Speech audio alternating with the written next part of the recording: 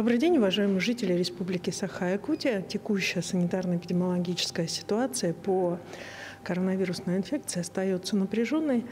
За сутки на территории республики зарегистрировано 1937 новых случаев коронавирусной инфекции. Днем ранее было зафиксировано 1710 заболевших ковидом. Необходимо обратить внимание, что для последних пяти дней характерно снижение темпов роста и, соответственно, значит, принятые меры, которые мы с вами совместно принимаем, дают свой эффект. За сутки госпитализировано 137 человек с ковид, накануне это было 127. Выздоровело за сутки у нас 410 человек, и, соответственно, на прошлых сутках у нас выздоровело 286. Несмотря на вот это увеличение количества вновь выявленных случаев заболевания и скорость распространения, у большинства заболевших регистрируется легкое течение заболевания. Как отмечают медицинские работники, э, само по себе заболевание похоже по симптоматике на острые респираторные заболевания осеннего и весеннего характера. И, соответственно, на настоящий момент значит, приняты все меры для того, чтобы расширить поликлинические звенья и первичное звено обслуживания, как на территории города Якутска, где приходится самое большое количество заболевших по республике, так и в районах нашей республики. Сегодняшнего дня, помимо поликлиник города Якутска, амбулаторный прием по соответственно, подозрению на ОРВИ ведет Центр амбулаторной неотложной помощи на базе спортивного комплекса «Триумф», куда могут обратиться лица с симптомами респираторной инфекции и температурой не выше 38 градусов.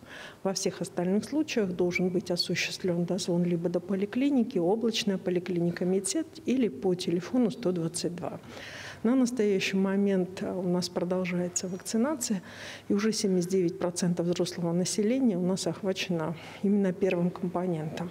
Ревакцинация, которая является сегодня основной и уже общепризнанной в мировом порядке, соответственно, значит, ревакцинация должна дальше продолжаться.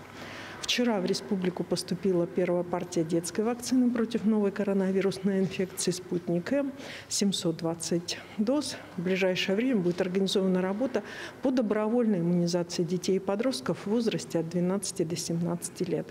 Первыми желание, э, прежде всего, вакцинировать своих детей выразили медицинские работники Соответственно, значит, а, и города Якутска, и республики, в связи с чем будет организована работа именно такого плана. Значит, еще раз обращаю внимание, как и не раз говорил глава республики, иммунизация детей – это исключительно добровольная, соответственно, значит, мероприятия, и решения будут принимать, исходя из действующего законодательства, а родители как законные представители ребенка. Со стороны органов государственной власти будет организовано место и доступность вакцины для того, чтобы эта процедура была пройдена. На настоящий момент по заболевшим детям количество заболевших детей не уменьшается на территории республики. Сегодня, по данным мэра города Якутска, а в детских садах у нас сегодня находится небольшое количество детей. Группы заполнены на 10-15% а, в связи с тем, что очень много заболевших, находящихся на изоляции, контактных детей. Ну, вы видите все прекрасно, что происходит по количеству заболевших. Ну и, соответственно, значит, а, учреждения здравоохранения вместе со всеми работают для того, чтобы и бороться с этой инфекцией, ну, для того, чтобы все были здоровы.